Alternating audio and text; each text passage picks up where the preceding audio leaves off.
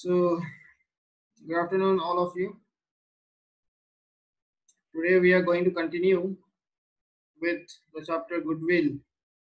Okay, and uh, as we have done in the previous class, where we have learned about uh, what is goodwill, what are the factors affecting goodwill, as well as we have learned about the different methods of goodwill.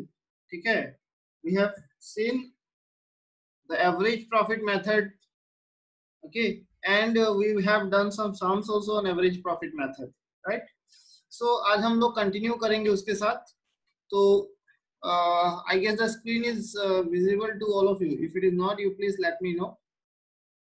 And uh, today we are going to uh, see one more sum of average profit method. Okay, under the average profit method, but here we will see some special adjustments, and along with that adjustments, how we are going to find out the adjusted average profit. Okay, how to find out the adjusted average profit, and on the base of the adjusted average profit, how to find out the goodwill. The formula remains the same, so it is not going to hamper you. Only thing that will be different is that how to make the how to calculate the adjusted profit. So how to calculate the adjusted profit? We'll just see the uh, screen here. It's given here that there are some special cases where you have to make certain adjustment in your profit. Okay, to find out what is the exact profit that is having impact on the goodwill. कभी कभी बहुत कुछ होता है business में जिसको हम लोग इग्नोर कर देते हैं लेकिन ऐसा बहुत कुछ है जिसको इग्नोर नहीं कर सकते स्पेशली अगर हम लोग गुडविल जब कैलकुलेट करना चाहते हैं तब तुम उन सब चीज़ों को नजरअंदाज अगर करोगे तो तुम्हारा गुडविल का करेक्ट वैल्यू नहीं मिलेगा तुम्हें। इसी के लिए ये सब चीज़ें सिखाया जाता है। जो जो तुम्हें कैलकुलेट करना पड़ेगा या फिर ध्यान में रखना पड़ेगा गुडविल को डिटरमाइन करने के लिए या सही गुडविल सही वैल्यू गुडविल का सही वैल्यू निकालने के लिए, ठीक है? So adjustments in calculation of average profit क्या क्या होता है देखो? पहला होगा over valuation and under valuation of closing stock over valuation का मतलब क्या होता है और अंडर वैल्यूएशन का मतलब क्या होता है? When you have return the value of your stock stock means सामान, ठीक है? जो सामान तुम्हारे पास है। If you have written more than the value of it, suppose the value is 10000 but you have written by mistake, you have written it 12000 okay? Uh, or suppose the uh, the actual value is 10000 but the market value is say uh, 13000 so you have written it 13000 you cannot do that you have to follow a particular principle principle in stock क्या principle follow करना है कि stock जब भी record करोगे ठीक है तब क्या करना है उसका मार्केट वैल्यू या उसका कॉस्ट प्राइस ठीक है मार्केट प्राइस या कॉस्ट मार्केट वैल्यू जो भी बोलो market price and cost price whichever is less उसको रिकॉर्ड किया जाता है ठीक है लेकिन कभी कभी हम लोग अपने गुड्स को वैल्यू कर लेते हैं more than what it is actually So in that case, what do we do is that we write down more than the value of the goods. So in that situation, we call it overvaluation. मतलब ज़्यादा लिख लिया है हम लोगों ने books में तो देखो क्लोजिंग स्टॉक को अगर तुम ज़्यादा लिखोगे if you write down the closing stock more than the value, okay, try to understand what is going to happen then. Closing stock कहाँ पे आता है फाइनल अकाउंट का? क्लोजिंग स्टॉक फाइनल अकाउंट के ट्रेडिंग अकाउंट क्रेडिट साइड में आता है एक बार और एक बार बैलेंस शीट में जाता है। एसेट साइड में करंट एसेट के अंडर में, ठीक है? तो बैलेंस शीट वाला पोर्शन अभी फ़िलहाल रहने दो, उसमें ज़्यादा इम्पैक्ट होता नहीं है। बेसिकली क्लोजिंग स्टॉक का इम्पैक्ट प्रॉफिट के ऊपर होता है। क्योंकि हम लोग यहाँ पे देखो एवरेज प्रॉफिट के ऊपर ध्यान देके हम लोग सीख रहे हैं। इसलिए हम लोग बैलेंस शीट का पोर्शन नहीं देखेंगे हम हम अभी, हम लोग सिर्फ़ देखेंगे कि average profit where where over valuation of closing stock is having impact okay where it is having impact in the profit that we are going to see here so where it is having since closing stock comes in credit side of trading account if you can remember last year you have done closing stock comes in the credit side of trading account okay so if you write more in the credit side try to recall the trading account nicely if the credit side of trading account is more agar trading account ka credit side zyada hai then what is what will be the result ज्यादा मतलब किससे ज्यादा है debit side से ज्यादा है ठीक है जितना भी ज़्यादा होगा, ज़्यादा, जितना ज़्यादा होगा, उतना ज़्यादा profit right if the credit side is more then more profit isn't it?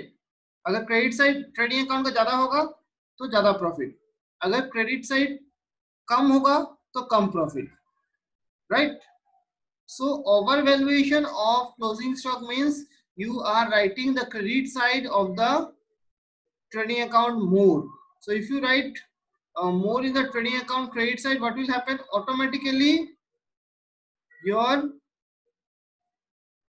yeah exactly your credit side will be more so when the credit side will be more that is the gross profit will be more मतलब profit ज़्यादा होगा ठीक है लेकिन वो correct नहीं है इसी के लिए over valuation of closing stock minus किया जाता है प्रॉफिट से माइनस करोगे जिस पर्टिकुलर ईयर में तुमने ओवर वैल्यू किया है in the particular year you have written over valuation or you have done over valuation of closing stock in that particular year you are going to deduct it.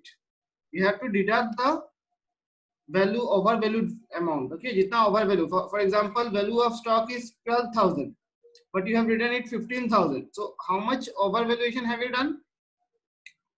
I'm repeating again. Suppose the value of stock is 12000 but you have written it 15000 so how much extra you have written? 3000 right? So that 3000 will be deducted in that particular year okay from the profit. It will be deducted in that year from the particular profit. Clear? I guess it is clear. Okay. Now what will happen with the overvaluation of closing stock means this year's overvaluation will be next year's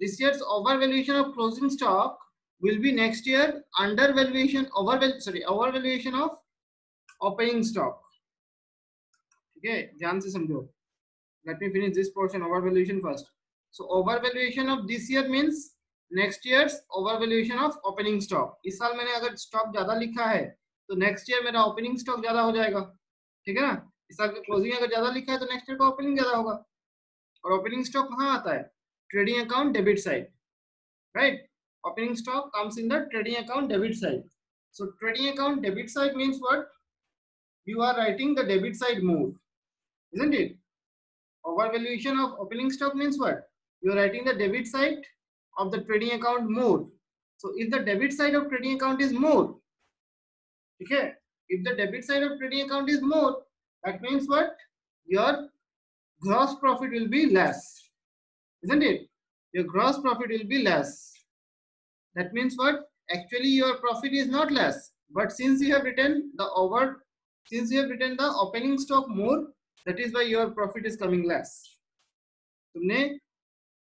opening stock का ज़्यादा लिखा है इसी के लिए तुम्हारा profit कम आ रहा है सो so, क्या होगा तुम्हारा प्रॉफिट जो कम आ रहा है उसको बढ़ाना पड़ेगा that is why that same amount of over valuation of opening opening stock okay, overvaluation of opening stock will be added. Very simple.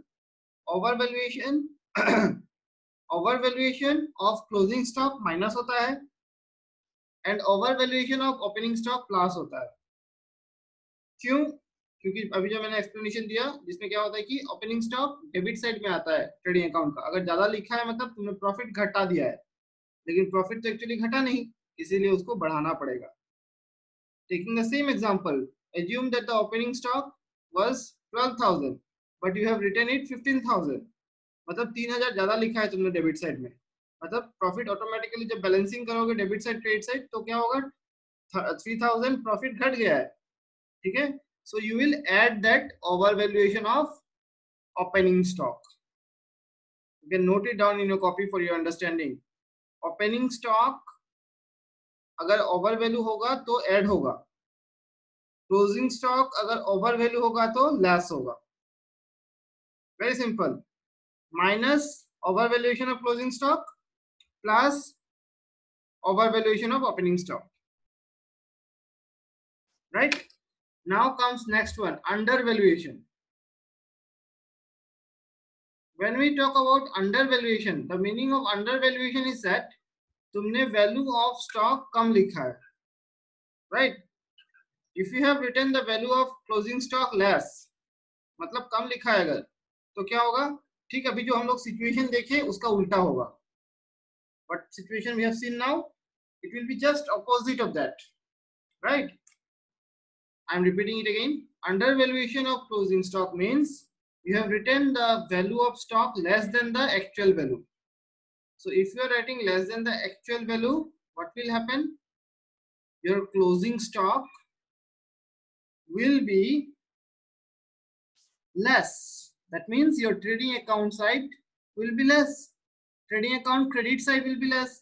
So trading account credit side less hai matlab profit kam hoga isn't it? So you have to increase it. So undervaluation of closing stock will be added.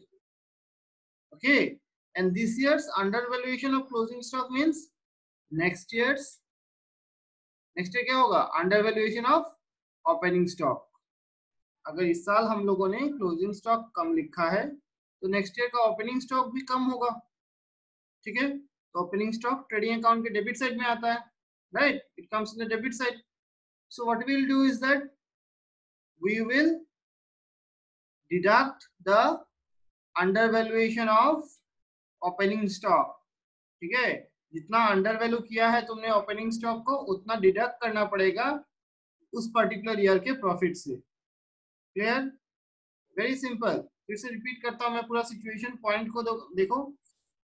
एकदम summarise करके बता रहा हाँ over valuation of closing stock plus होता है।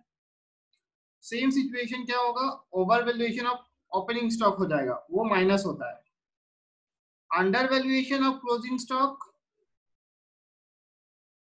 sorry just a minute okay over valuation of closing stock minus होता है and over valuation of opening stock plus होता है okay over valuation of closing stock minus होता है and over valuation of opening stock plus होता है. Under valuation of closing stock plus होता है and under valuation of opening stock minus होता है. क्लियर ठीक है? I guess it is clear थोड़ा ध्यान से सुनो फिर से बोल रहा हूँ एक बार। अगर क्लोजिंग स्टॉक ओवर वैल्यू होगा तो उसको माइनस करना पड़ेगा। अगर ओपनिंग स्टॉक ओवर वैल्यू होगा तो उसको प्लस करना है। अगर क्लोजिंग स्टॉक अंडर वैल्यू होता है तो प्लस करना है।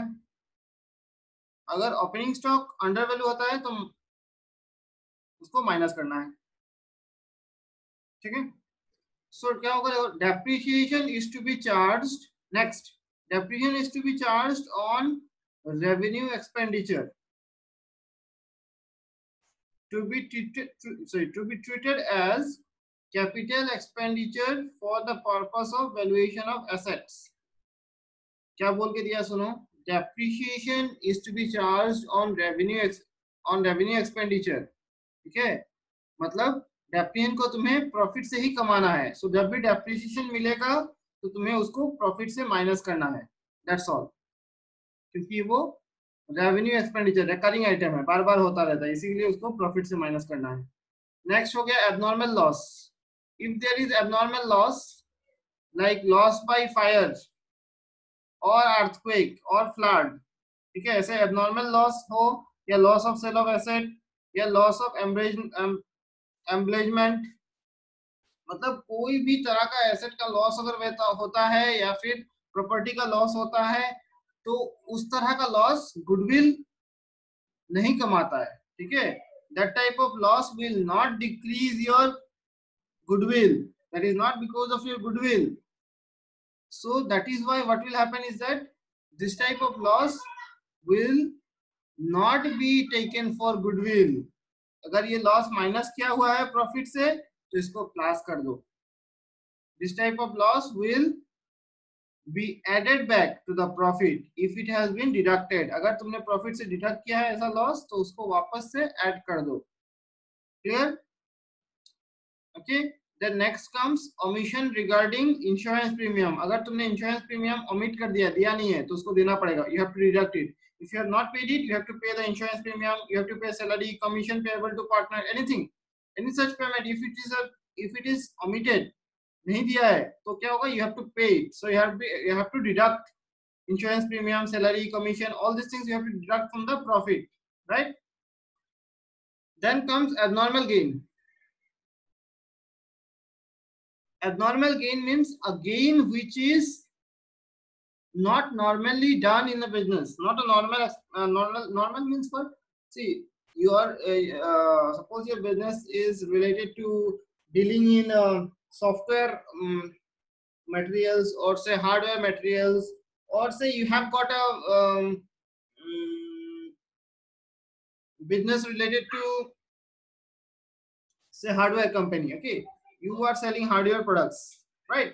So um, whenever you are dealing with that and in process of that uh, suppose you have sold uh, shares and debentures or you have sold some other property and you are making profit all these types of profit and all are not related to your hardware business, right? So that will be your abnormal gain. That is not your normal business activity other than your normal activities. So that will be taken as abnormal gain or abnormal profit. So uh, what will happen? This is not because of your good name that you are able to sell your your land, or it is not because of your good name that you are able to sell your shares and debentures. So what will happen is that your all abnormal gains will be deducted from the profit if it has been added अगर profit को profit के साथ तुमने abnormal gain add किया हुआ है तो उसको माइनस कर दो हटा दो वो गुडविल के लिए नहीं हुआ है so you have to deduct all the abnormal gains like speculative uh, sorry speculative gain profit on sale of asset interest dividend any such receipt, whatever you have got or profit on sale of any other uh, investments whatever it is that will be deducted from the profit okay Now come the last one. In the other cases like installation charges on assets, right? That will be treated as uh, revenue expenses. Then uh, drawings of partner treated as business expenses. Okay, that means uh, all these things are going to be taken under the business account. Okay? Now i guess this concept is clear so we will move to a sum. That will be easy for you to understand with this uh, particular situation. Okay.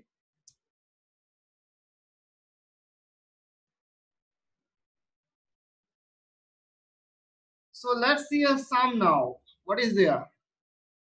Profits of a year sorry profits of a farm during the last five years were as follows.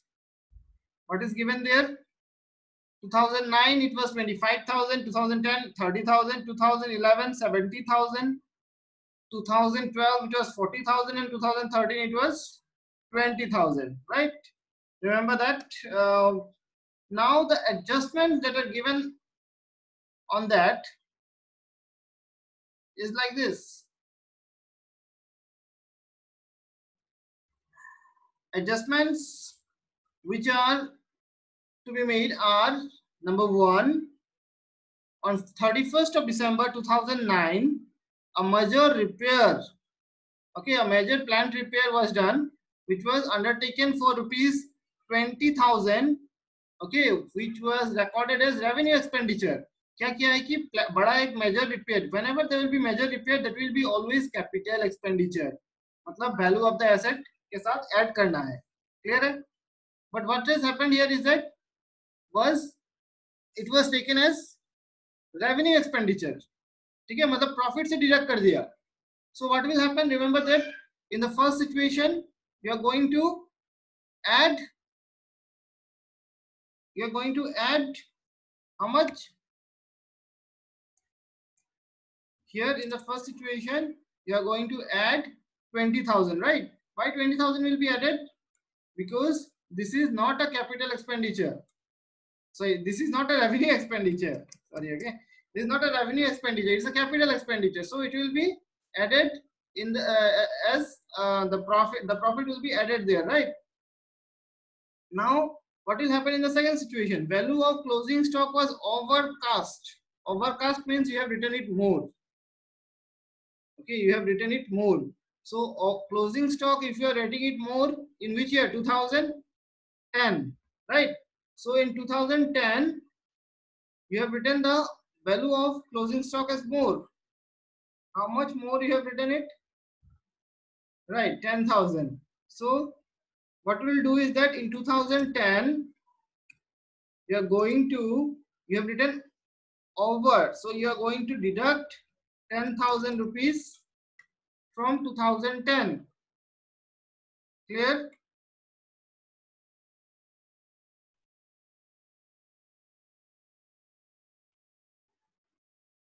Okay. I guess it is clear, uh, clear to all of you. Now what will happen in 2011, the same amount, this year's closing stock is more means next year's opening stock will be more. When the next year's opening stock is more, that means what will happen? Next year's profit is less. So next year this 10,000 will be added. Okay, I guess it is clear. Okay, now we will go with third one. If you have any doubt, we'll clarify it. Okay, now after that, what is given here? Profit of 2011 included profit of rupees 30,000 on sale of piece of land. Okay. What is given here is that profit of 2011 okay included a profit of rupees 30000 on sale of a piece of land एक एक land को बेचकर जो profit मिला है उसके बारे में बताया जा रहा है ठीक है so as I have already told you sale of land is a abnormal gain activity होता है ना कैपिटल एक्सपेंडिचर कैपिटल इनकम होता है वो कैपिटल गेन होता है so that will not be taken in the profit now what is given here profit of 2013 include loss of asset rupees acha two different situation now what is given here profit of uh, profit of 2011 include profit of rupees 30000 on sale of land so sale of land means it's not a regular activity so what will happen this will be deducted this 30000 will be deducted right in which year? In? This will be deducted in yes 2011 okay?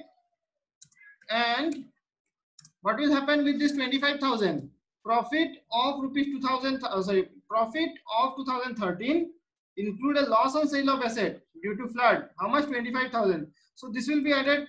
Why it will be added? Because of the reason that it has no relation with goodwill. Okay flood doesn't happen because of goodwill right? The next one partner salary rupees 6000 was not charged in 2002 right? Partner salary which was how much? Rupees 6000 that was not charged in 2002 so what will do what, what will you do is that you have to charge it in this year right? So you have to deduct it from the uh, from the profit of 2012 isn't it? From 2012 you have to deduct it. Clear? The next is drawings of rupees 5000 drawings of rupees 5000 were shown as business expenses in 2013 now see when we talk about drawings okay now, uh, what is given there? Drawings of rupees 5000 was shown as a business expenses in 2013. Isn't it? This particular expense is not actually a business expense.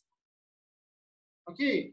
This is what was contradictory to other point. We have seen that this particular expense, you cannot say it is a business expense. It's an expense of a partner. They are taking it. Drawings, they are making. Partners are taking. Okay. So you are going to add this one this will not reduce your this is this drawings is not going to reduce your profit this drawings is not going to reduce your profit so this drawings of rupees 5000 will be added in the year 2013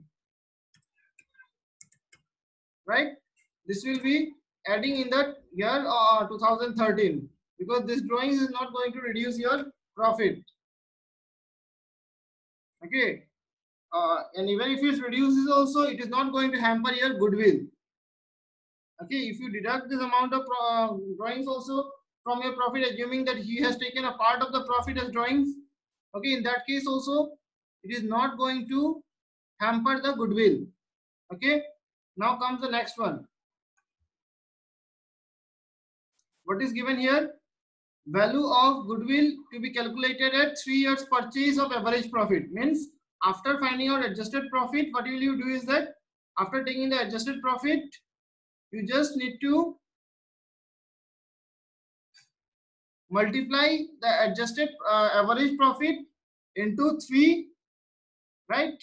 The number of years purchase what you have done in the previous class. Okay what you have done in the previous class is that adjusted profit into 3 will be your goodwill right? That is how it is going to be done. Okay so before going to that you have to do the adjusted uh, you have to find out the adjusted profit and accordingly you have to move ahead. Clear? I guess the concept is clear here